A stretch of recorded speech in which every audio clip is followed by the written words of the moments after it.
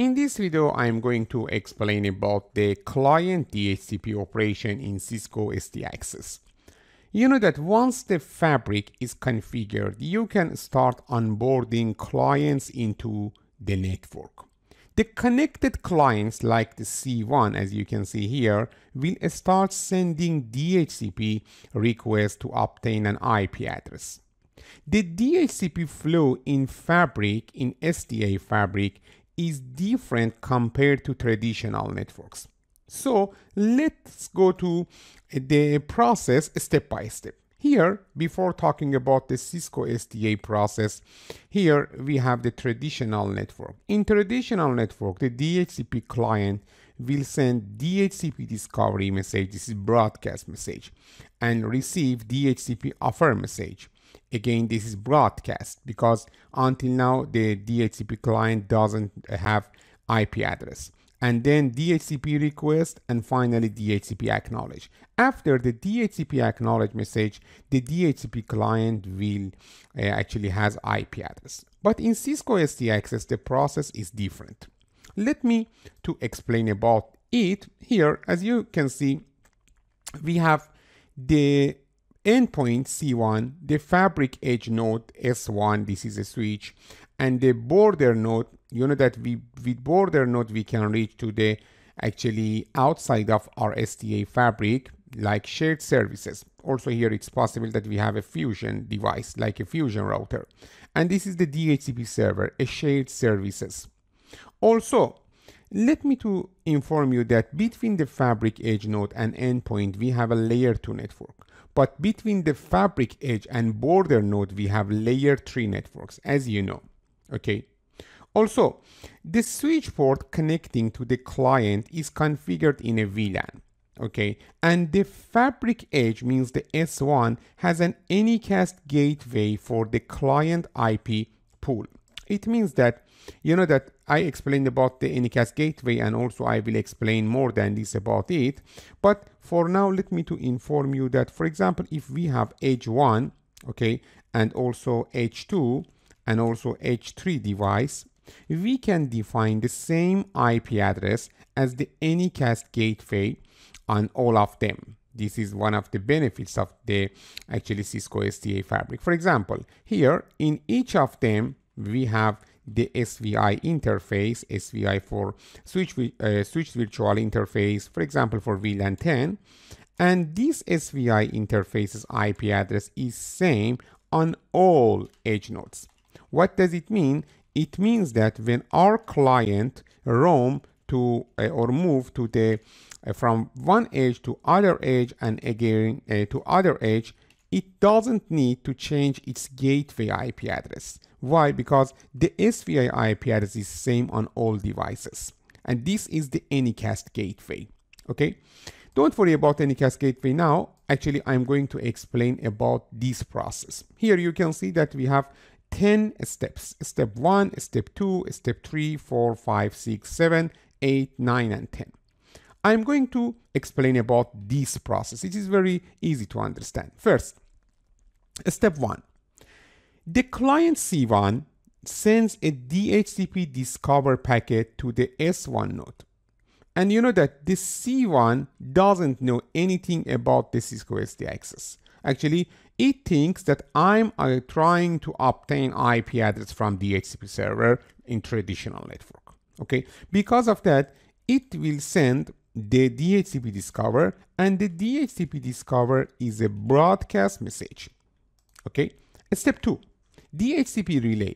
The fabric edge configured uh, previously with the DHCP relay uh, or a DHCP helper option to forward the DHCP message to the DHCP server. Okay, uh, actually, the Fabric Edge is, adds its routing locator or RLOC IP address in option 82. I know that you heard about the option 82, uh, maybe in your studies about the IP DHCP snooping or other features. You know that we have some options in DHCP messages. For example, option 3, option 6, one for the default gateway address, one for DNS domain a DNS uh, actually IP address or some other things. We have one important option, option 82. The name of this option is information option. And you can add some information related to the actually switch, related to the port of the uh, connected client in this uh, information option. It means that the fabric edge node should convert the DHCP discover to DHCP relay message because you know that this is the DHCP server that should send IP address to the uh, actually uh, the client. And because of that, we need to relay from the fabric edge node the DHCP message to the DHCP server, DHCP relay message, okay?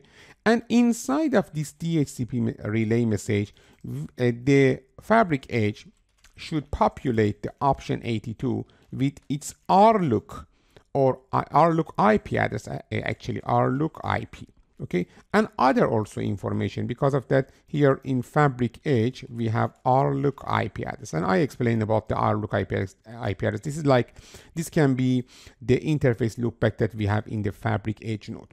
Actually S1 adds its routing locator or RLOC IP address in option 82 information option to the DHCP discover and then DHCP relay on S1 converts the broadcast DHCP discovery to unicast and forward it out to the for, uh, fabric border and finally to the DHCP server. Actually, this is the unicast DHCP relay message. All right, this is step two, and now DHCP relay received by the DHCP server. After that, DHCP offer. Step three. The DHCP server located outside of the fabric, okay, replies with the DHCP offer destined to Anycast gateway IP address. And you know that here uh, we send this packet with the Anycast uh, gateway IP address, okay? And because of that, the DHCP server will answer to the Anycast gateway address. And you know that the option 82 information encoded by S1 by Fabric Edge node is copied back unaltered into the DHCP offer by the DHCP server. Actually, the information we sent before now is available in the DHCP offer message. Here we have one important notation. You know that when we have actually the DHCP offer message will send will be sent to the Anycast gateway IP address. But you know that the Anycast gateway IP address is available on many edge nodes, as I mentioned before. How the border node can understand that forward this uh, actually DHCP offer to which fabric edge node okay you know that in option 82 we have the RLOC IP address RLOC IP address means the border node now can understand to which fabric edge node this packet should be sent. Okay, and because of that, actually we can say the DHCP offer arrives back to the border node.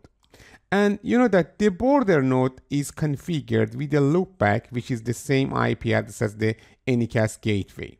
And the border will inspect the packet for option 82 and based on the RLOC information encoded there, the forward will forward the DHCP request back to S1. Look at here, forward request to S1. This is the usage of option 82. And after that, here, uh, as you can see, note that this is necessary since the Anycast gateway address which the DHCP server sent the offer back to it is not unique within the fabric. It is shared by all fabric edge nodes. This is a function of option 82. And now the forward request message include uh, the DHCP offer re uh, received by the fabric edge node. Step 4. Step 5. The fabric edge node will send DHCP binding message to the C1. Actually, once S1 gets the DHCP offer from the border, it updates its DHCP binding database and forward the DHCP offer packet to C1. Here we have a DHCP binding, include the information from C1 and include the offer from the DHCP server. It means that on my, for example, port 1, uh, we, uh, we have a client with the MAC address MAC1 and also we received an offer from DHCP server with this IP address. Here we have a binding table. And after that, C1 now receive DHCP binding message. C1 will now send a DHCP request packet, as you can see here. Again, in step 7, the request is forwarded to the border, which in turn forwards this to the HCP server. Step 8, the DHCP server replies to the border with the DHCP uh, actually acknowledgement and again the border will inspect the packet for option 82 to find the RLOC to forward the ACK to the appropriate fabric edge S1 and finally C1 has now an IP address.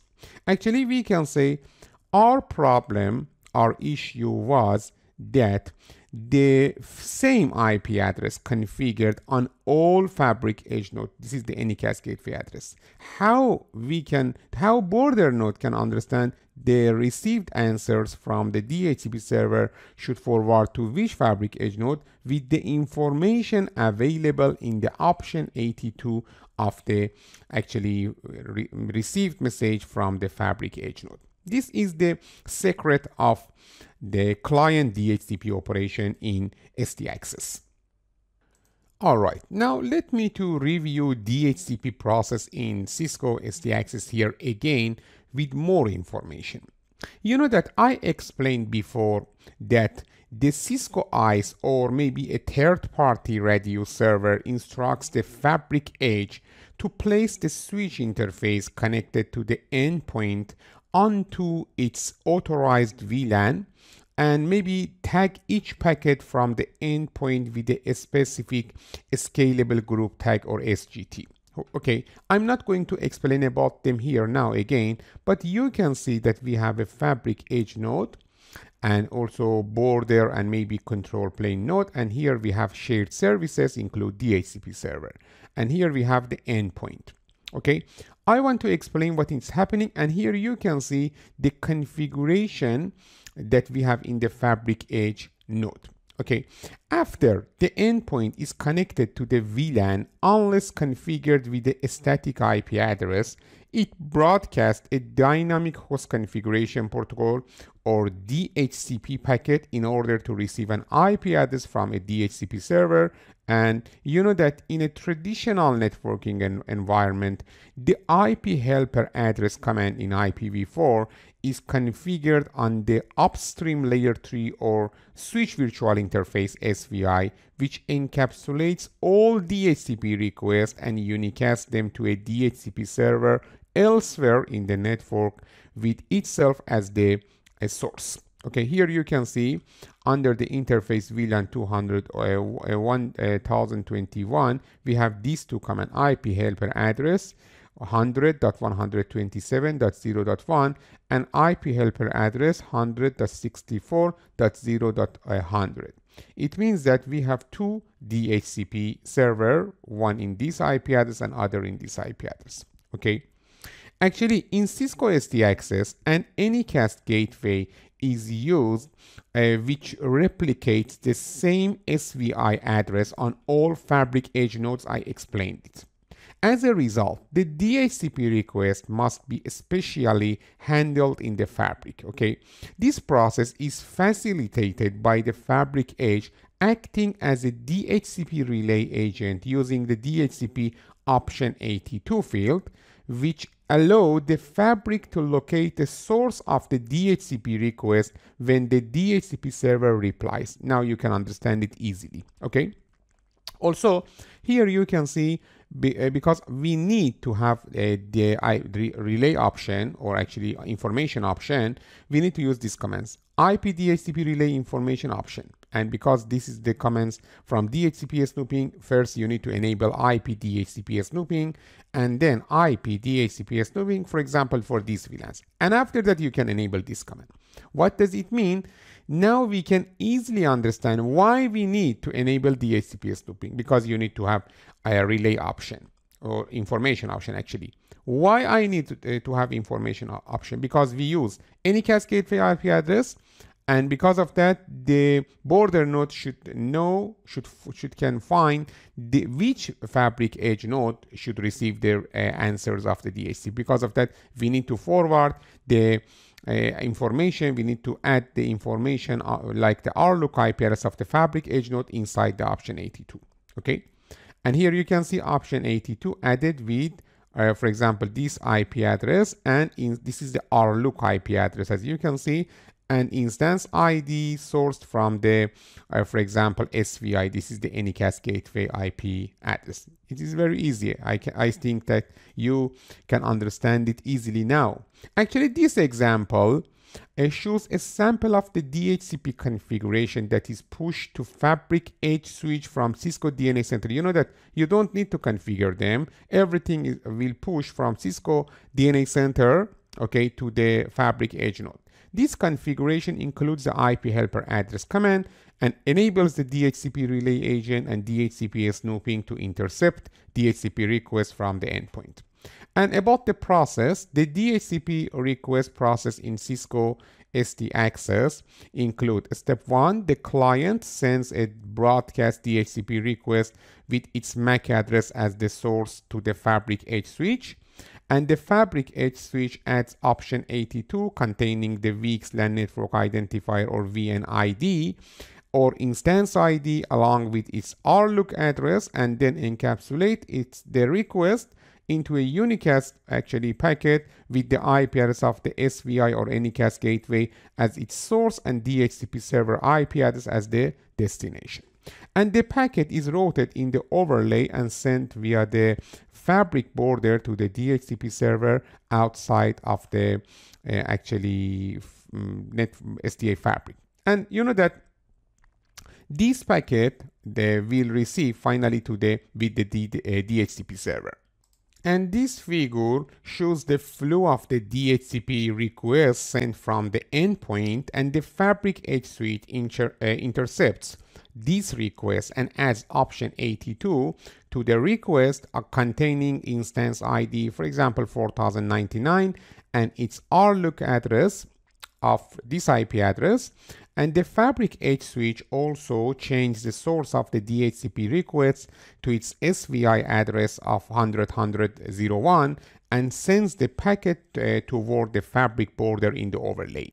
Alright, in this actually figure, you can see the sample output of debug captured on the Fabric Edge switch during the DHCP request process. It shows uh, the Fabric Edge intercepting the request and adding option 82 before forwarding it toward the DHCP server. Look at here, received new DHCP packet from input interface, this interface, and then process new DHCP packets, input interface, and some other information. And then add the relay information option, encoding option 82, VLAN mode port format. And after that, the it a unique we forwarded this packet to the actually DHCP server. And also the response here you can see the response from DHCP server. The response from the DHCP server is sent back toward the endpoint and goes through first DHCP reply um, is received by the fabric border which has a loopback interface configured with the same IP address as the Anycast gateway. Actually, it will receive this packet. And the fabric border sees option 82 in the reply containing the fabric border's RLOC address and the instance ID and sends the DHCP response directly to the fabric edge. I explained it before, you can understand it easily and the fabric edge receives the reply, de-encapsulate the packet, and then forward the raw DHCP reply to the actually endpoint. Actually, this figure shows the flow of the DHCP reply sent from the DHCP server and the fabric border receives the reply and after a reading option 82 in the packet directs the reply to the fabric edge switch for forwarding to the endpoint.